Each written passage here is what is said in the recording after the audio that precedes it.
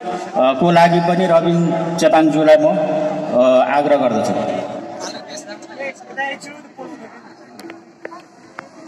धन्यवाद कार्यक्रम सञ्चालक महासचिव सन्तबहादुर चेपाङज्यू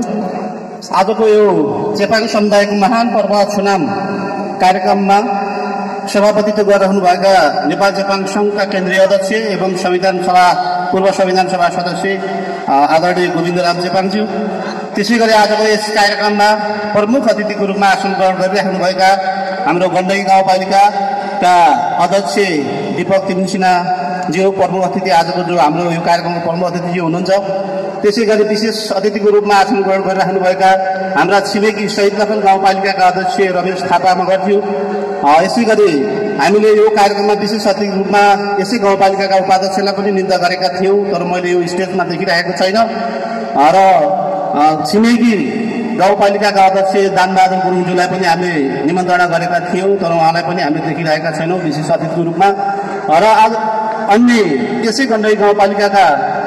आठवटै वडाका वडाध्यक्षज्यूहरू यसै गरी हाम्रो यो कार्यक्रममा र चेपाङसँग सँगै प्रायः जसो म पनि चेपाङै हो भन्नु पनि रुचाउनुहुन्छ उहाँ र वातावरणीय विज्ञ आदरणीय भोला सर यसै गरी विभिन्न मिडियाबाट पाल्नुभएका मिडिया कर्मीज्यूहरू सुरक्षा कर्मीज्यू त्यसै गरी नेपाल चेपाङ सङ्घका विभिन्न तह र तब्कामा रहनुभएका आदरणीय सम्पूर्ण नेतृत्वगणहरू विभिन्न जातीय सङ्घ संस्थाका प्रतिनिधिज्यूहरू हरेक राजनीतिक दलका चाहिँ प्रमुख एवं प्रतिनिधिज्यूहरू लगायत सम्पूर्ण उपस्थित महानुभावहरूमा मेरो व्यक्तिगत तर्फबाट र नेपाल चेपाङ सङ्घको तर्फबाट यहाँलाई हार्दिक स्वागत गर्न चाहन्छु। साँच्चै भन्ने हो भने नेपालको छब्बिसवटा जिल्लामा छरिएर रहेका चेपाङ समुदायहरू अहिले हाम्रो दुई हजार अठहत्तरको जनगणना अनुसार चौरासी हजार तिन सय अडसठी रहेका छन् र हामी नेपालका आदिवासी जनजातिहरूमध्ये हाइली मार्जिनलाइज ग्रुपमा अति सीमान्तकृत समुदायमा पर्ने हामी चेपाङ समुदायहरू विभिन्न हिजोको चरण हुँदै हामीले हिजो पहिचानको लडाइँ लड्यौँ नेपाल चेपाङ सङ्घको स्थापना पश्चात किनकि चेपाङ हो भन्ने पनि यो देशमा जानकार थिएन त्यो बेला। त्यसले हामी पनि यो चेपाङ चेपाङ समुदाय पनि यो देशको चाहिँ भूमिपुत्र हौँ हामी पनि यो देशको चाहिँ परापूर्व कालदेखि बस्दै आएका आदिम आदिवासी जनजाति हौँ भन्दै हामीले पहिचानको मुद्दा लड्यौँ। पहिचानको मुद्दा साथसाथै हामीले विकास र अधिकारको कुरा पनि आवाज पनि उठाउँदै आयौँ। जुन कुरा अहिलेको नेपालको संविधान दुई हजार बहत्तरले अहिलेको नेपालको संविधान बनिएको संविधानको कन्टेक्स्टलाई हेर्ने हो भने यो संविधान उत्कृष्ट संविधानको रूपमा हामीले चेपाङ सङ्घले पनि यो संविधानलाई उत्कृष्ट संविधानको रूपमा लिएका छौँ। र हाम्रो एउटै मात्र अहिले प्रश्न के भइरहेको छ भने यो संविधानले दिएका ती अधिकारहरू कार्यान्वयन तहमा अझै पनि चेपाङ समुदायलाई हाम्रो राज्यबाट हुनुपर्ने चाहिँ प्रतिनिधित्वदेखि लिएर हरेक कुरामा चाहिँ पछाडि पारिराखेकै छ त्यही भएर हाम्रो अहिलेको लडाउँ भने अधिकारको साथसाथै यो नेपालको संविधान दुई हजार बहत्तरलाई हुबहु लागू गर्नको लागि हामी चेपाङ समुदाय पनि यसमा निकै पहल कदमीको साथ अगाडि बढिरहेका छौँ। र हामीले भन्दै आएका छौँ कि हामी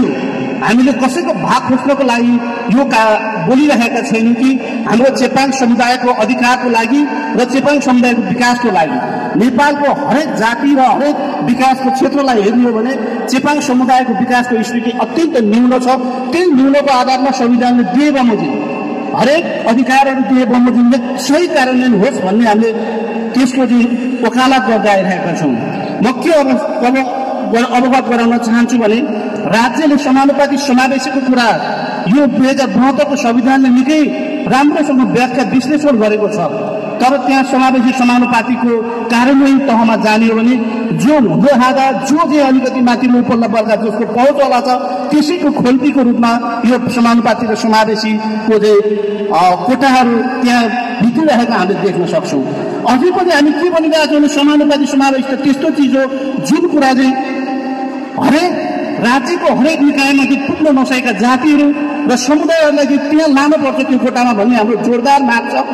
त्यसका अतिरिक्त चाहिँ हामीले के भनिरहेका छौँ भन्दा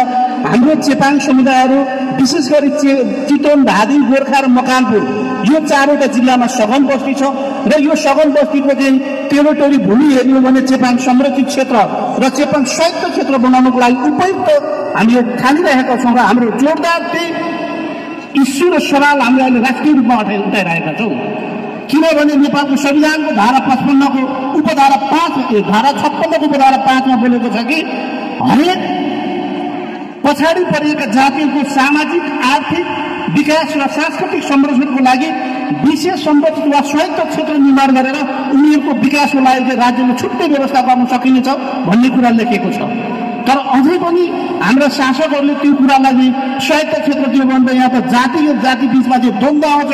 विभिन्न किसिमका चाहिँ भ्रमहरू छर्ने काम भइरहेको छ। त्यस कारणले गर्दा हामीले के माग गरिरहेका छौँ भन्दा चेपाङ संरक्षित र स्वैच्छिक अथवा स्वायत्त क्षेत्रको माध्यमबाट हाम्रो चेपाङ समुदायको विकासको लागि एक दर प्रणालीबाट हाम्रो विकास गर्नुपर्छ भन्ने हाम्रो नेपाल चेपाङ सङ्घको जोरदार माग रहेको छ। यही कारणले गर्दा म आम चेपाङ समुदायले पनि के भन्न चाहन्छु भने हामीले हाम्रो संस्कार संस्कृतिलाई जगेना गर्दै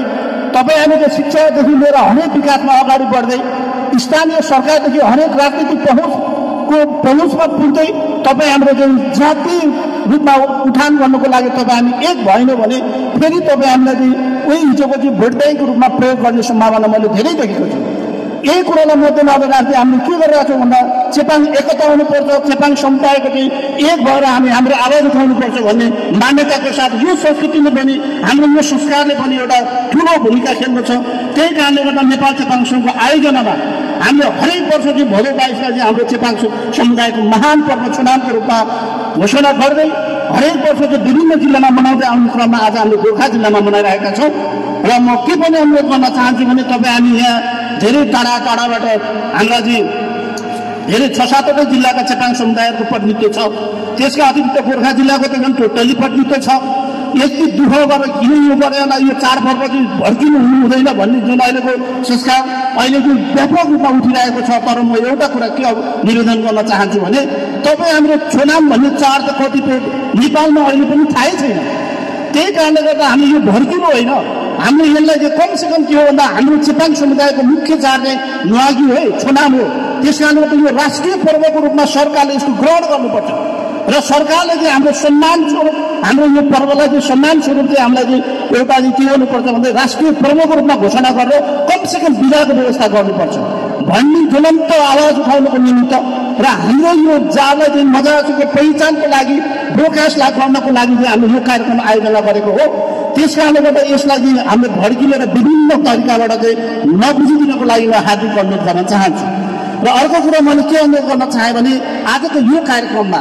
विशेष गरेर हामीले यो गण्डकी गाउँपालिकाले हामीलाई ठुलो सहयोग गर्नुभएको छ। त्यसै गरी यो हाम्रो केन्द्रीय स्तरको राष्ट्रिय पर्व भएको कारणले गर्दाखेरि सम्पूर्ण केन्द्रकै चेपाङ कम्युनिटीले एउटामा भएर हामीले मनाउने जमर्को गरेको हुनाले हामीले सबै चेपाङ कम्युनिटीमा रहेका जो हाम्रा जुन स्थानीय सरकारज्यूहरूलाई हामीले सहयोगको अपेक्षा गरेका थियौँ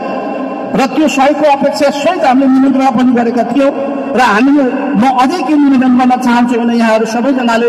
हाम्रो चेपाङ समुदायको यो चाडको लागि चाहिँ हातेमालो गर्नको लागि म हार्दिक अनुरोध गर्न चाहन्छु। हाम्रो यहाँ विभिन्न किसिमका खर्चहरू भइरहेछ। त्यस कारणले गर्दा त्यो हामी एक्लैले सम्भव छैन। हाम्रो गण्डकी गाउँपालिकाले हालेको पैसाले मात्रै पनि सम्भव छैन। यो मानिमा मैले यहाँहरू सबैलाई आग्रह गर्न चाहन्छु र अन्तमा म के भन्न चाहन्छु भने तपाईँ हाम्रो संस्कार संस्कृति विकृति जन्य संस्कार संस्कृतिलाई रोक्दै अब तपाईँ हामी शैक्षिक स्तरबाट माथि उठ्दै तपाईँ हामी सबैजना एक हुँदै हाम्रो विकासको निम्ति सबैजना लामबद्ध हुनको लागि म हार्दिक अपिल गर्दै आजको यस कार्यक्रममा पाल्नुभएका सम्पूर्ण